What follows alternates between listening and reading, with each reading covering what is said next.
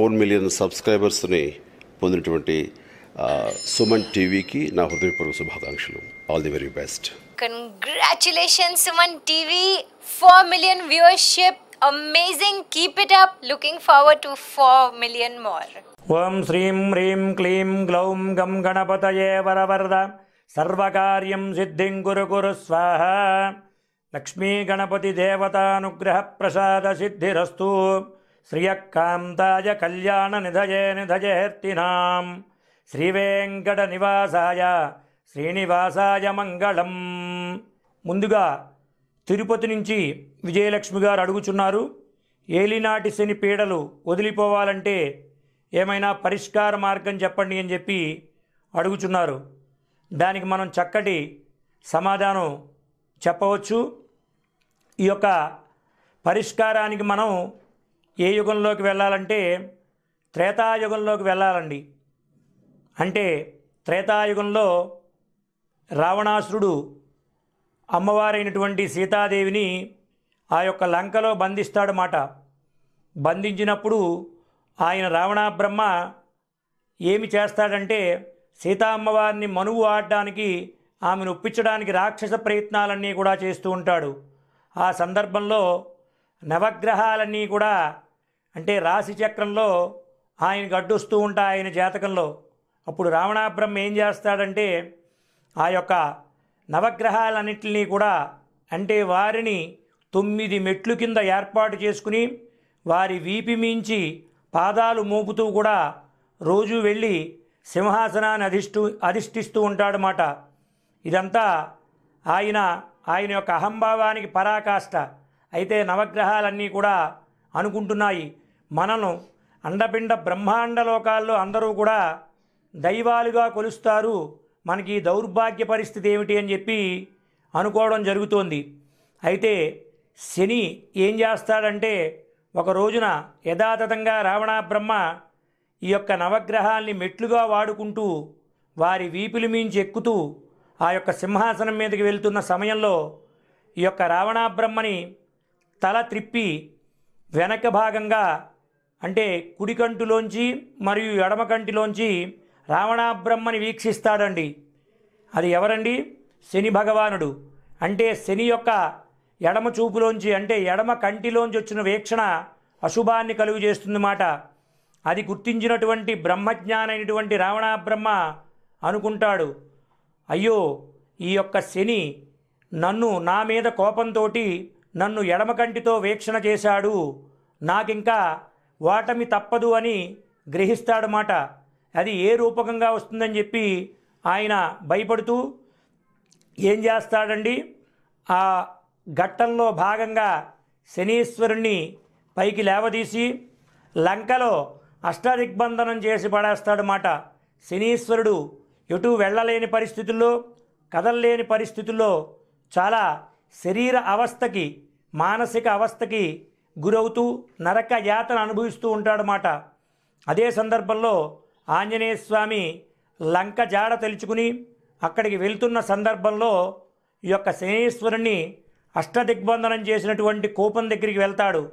ఆ కూపంలో ఉన్నటువంటి శనేశ్వరుడి అష్టదిగ్బంధనాన్ని భగళాముఖి అస్త్రంతో ఛేదిస్తాడు మాట వెంటనే శనేశ్వరుడు వలలో చిక్కుకున్నటువంటి చేప ఏ విధంగా మనకి అదృష్టవశాత్తు బయటపడుతుందో అదే రకంగా ఈ యొక్క శనీశ్వరుడు ఆ అష్టదిగ్బంధన కోపం నుంచి బయటపడతాడు.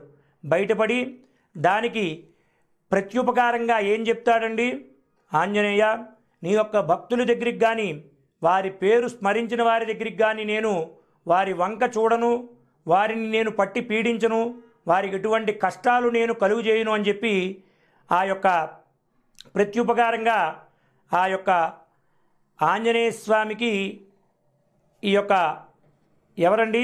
శని భగవానుడు కృతజ్ఞత తెలియజేస్తూ అక్కడి నుంచి వెళ్ళిపోతాడనమాట అంటే ఏలినాటి శని మనకి దుష్ప్రభావాన్ని చూపెట్టినప్పుడు మనం ఎవరిని కొలవాలండి? పంచముఖ ఆంజనేయ స్వామిని కనుక కొలిస్తే అంటే హనుమాన్ చాలీస పారాయణ కానీ అలాగే ఆంజనేయ స్వామికి సంబంధించిన దండకాలు కానీ స్తోత్రాలు కానీ నిత్యం మనకి సావకాశం కలిగిన టైముల్లో ముహూర్త భాగాన్ని చూసుకుని ఈ స్తోత్రాలు అంటే కేవలం ఆంజనేయ స్వామికి సంబంధించిన స్తోత్రాలని కూడా మనం చేసుకున్న ఎడల ఏలినాటి శని బాధలు మనకి ఉండవని చెప్పవచ్చు. అలాగే ప్రతి మానవుడికి వారు జన్మించిన తరువాత మోక్షం వరకు కూడా మధ్య భాగంలో ఏలినాటి శని ఒక్కసారి ఖచ్చితంగా ప్రతి మానవుడికి కూడా రావడం జరుగుతుంది. దాన్ని ఏమంటారండి మనం? ఏడున్నర సంవత్సరాల శని అంటారన్నమాట ఈ ఏలినాటి శని ప్రభావాన్ని తప్పించుకేందుకు ఆంజనేయ స్వామి పూజలు తప్పనిసరిగా చేసుకుని ఆంజనేయ స్వామి రక్షా కవచాలన్నీ కూడా మెడలో ధరించిన ఎడల ఏలినాటి శని ప్రభావం తగ్గి మనం సుఖవంతులవుతాం.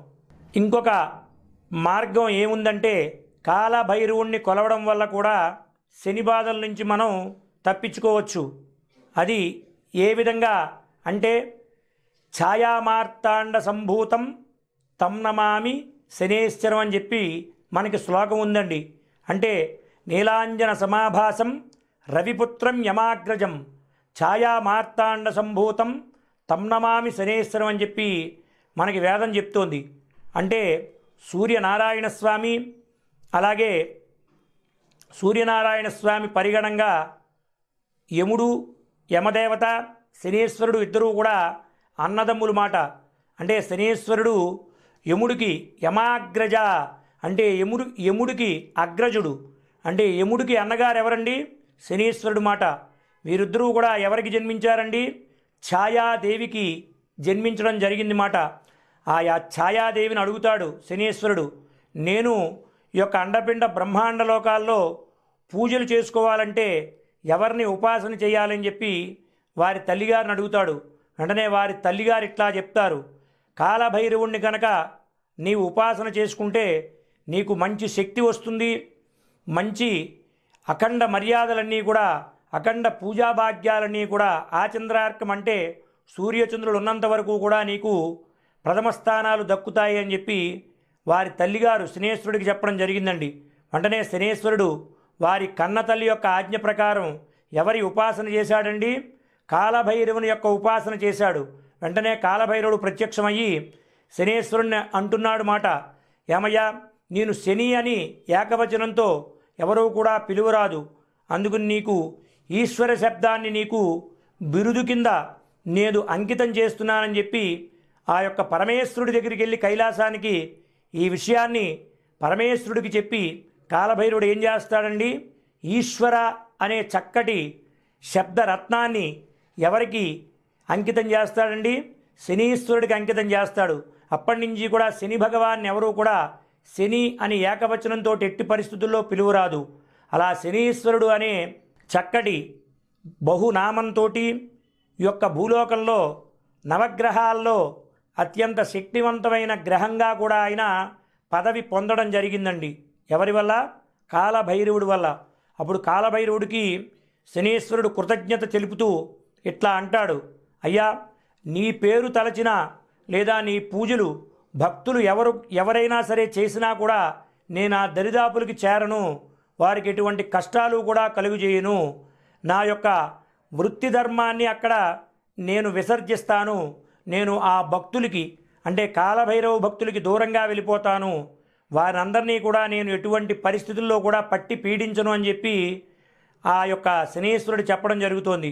అంటే కాలభైరవ పూజలు మనం ప్రతి పౌర్ణమి నాడు అమావాస్య నాడు కనుక చేసుకుని కూష్మాండ దీపాలు వెలిగించుకుంటే కనుక ఈ యొక్క శని దోషాలు ఎట్టి పరిస్థితుల్లో మన దరి చేరవండి. అలాగే ఇప్పుడు మీరు చూస్తూ ఉంటారు కార్తీక మాసంలో స్వాములంతా కూడా అయ్యప్పమాల వేసుకుంటారు. అయ్యప్పమాల వేసుకున్నప్పుడు వారు ధరించే బట్టలు ఏంటండి నలుపు రంగు వస్త్రాలని వారు ధరిస్తారన్నమాట అంటే మనకి దశల్లో అంతర్దశల్లో విదశల్లో కేంద్రస్థానంలో లగ్నస్థానంలో కనుక శనేశ్వరుడు ఉంటే ఇటువంటి అయ్యప్ప స్వామి దీక్షలు తీసుకున్నప్పుడు నల్లటి వస్త్రాలు ఎవరైతే ధరిస్తారో వారికి ఎటువంటి ఏలినాటి శని బాధలున్నా కూడా శనీశ్వరుడికి ఇష్టమైన రంగు ఏమిటండి? నలుపు రంగు మాత్రమే. ఆ నలుపు రంగు వస్త్రాన్ని ఎప్పుడైతే మనం ఇరవై నాలుగు గంటలు ధారణ చేస్తామో శనీశ్వరుడికి ఇష్టమైనటువంటి రంగు నలుపు కనుక ఆయన్ని మనకి ఎటువంటి పరిస్థితుల్లో హాని కలుగుజేయడు అంటే మేలు చేయడానికి ఆయన సిద్ధపడతాడనమాట చూసారా అందువల్ల మనం ఏలినాటి శని బాధల నుంచి తప్పించుకునేందుకు ఆంజనేయ స్వామి పూజలు చేయాలి కాలభైరవ పూజలు చేయాలి అలాగే మనకి సానుకూలమైతే అయ్యప్ప మాలాధారణ కూడా చేయవచ్చు. అలాగే ఈ మూడిట్లతో పాటు మనకి ఇంకొక చక్కటి ఉపాయం ఏమిటంటే మనం ఎంత బరువు ఉంటామో అంత బరువు అంటే ఏళ్ళనాటి శని ఉన్నవారికి మాత్రమే ఈ యొక్క పరిష్కారం వర్తిస్తుంది. ఏళ్ళనాటి శని లేనివారు అంటే అంతర్దశల్లో మహర్దశల్లో ఏళ్ళనాటి శనివారు శని కలుక్కుండా ఉన్నవారు ఇది చేయరాదు. ఏలినాటి శని రన్నింగ్లో ఉన్నవారు మాత్రం అంటే ఆ దశలు మనకి ఇప్పుడు అనుభవిస్తున్న ఎడల వారు ఏం చేయాలండి? వారు ఎంత బరువు ఉంటారో అంత రాళ్ళ ఉప్పుని కొని అంటే మనం క్రయం క్రయం అంటే కొండమ్మాట దాన్ని కొని నవగ్రహాలు బొమ్మలు ఉన్నటువంటి దేవాలయానికి తీసుకువెళ్ళి అక్కడ ఉన్నటువంటి పండితులకి ఎవరికైనా దానం తీసుకునేటటువంటి పండితులు ఉంటారండి. వారికి అంటే దేవగురువులు బ్రాహ్మలు ఉంటారు. వారికి అడిగి వాటిని దానం గనక చేస్తే వెంటనే ఏలినాటి శని దోషం పరిహారం అవుతుంది. అలాగే గుర్రం నాడ అంటారు. నలుపు గుర్రం పరిగెట్టిన తరువాత వారి కారికున్నటువంటి గిట్టలు అంటాము. వాటిని మనం తీసేస్తారన్నమాట అరిగిపోతే. వాటితో చేయించినటువంటి ఆ యొక్క గుర్రం నాడాతో చేసినటువంటి ఉంగరాన్ని మనం కుడి చేతి చూపుడు వేలికి పెట్టుకోగలిగితే ఈ యొక్క ఏలినాటి శని ప్రభావం తగ్గిపోతుందని చెప్పి మనం చెప్పవచ్చండి. నలభై లక్షల మంది వీక్షిస్తున్న సుమన్ టీవీకి కంగ్రాచులేషన్స్. ఇంకా ఇంకా ఎదగాలి అని మనస్ఫూర్తిగా కోరుకుంటున్నాను. Thank you congratulations to Suman TV for getting four million subscribers. Please keep watching please keep subscribing.